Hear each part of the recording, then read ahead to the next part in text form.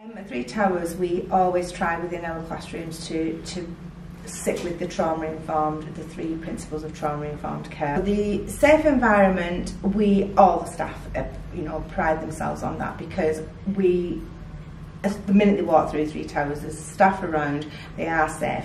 They're not in an environment where anything can happen to them. Even though it's a pupil referral unit and we do have children who are, you know, quite emotionally dysregulated, they do always feel safe. And actually, they they've verbalised that to us, and that that's something that they do feel safe Yeah, about. yeah. How would you create that kind of safe environment in the classroom? It's very nurture nurture based, even across the core, the core subjects, I would say. Mm. Um, and our class sizes are small, uh, which the children benefit from. Mm. So the you know, mm. their areas are really being addressed. Mm. But I think they feel safe because of what we talked about with the pen portrait, because each member of staff knows that child yeah. very, very well, even though they may have only worked with them for a few weeks, we've got all that information. And we, we make them feel safe because we make sure that their environment is what they have wished for in Yeah. a school. So they've wished for a teacher with a sense of humour. They've wished for a teacher who is more relaxed, and so we give that to them, and that straight away makes them feel in their own comfort zone. Um, emotional regulation is um, within the classrooms. We have the children who they know where they can go when they're dysregulated. They have got cards that they can um, leave the classroom and go to the zone. In the zone, they use that for emotional regulation. regulation. They've got different coloured zones depending on how they feel.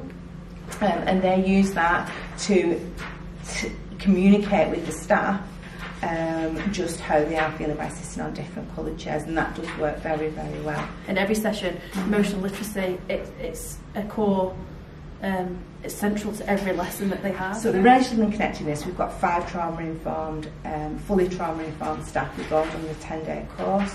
Um, we are the mainstay of where those children can go and they know they can go to any of us. Um, but we also make sure that that information is passed on through CPD um, and so all staff are aware of the importance of being emotionally connected to the children. Yeah. Uh, to be an emotionally available adult basically and that they can come to them and say anything. Yeah. We won't be shocked, we, we will just, we'll not try to change it but try to make them be able to deal with that emotion in a more um, constructive way.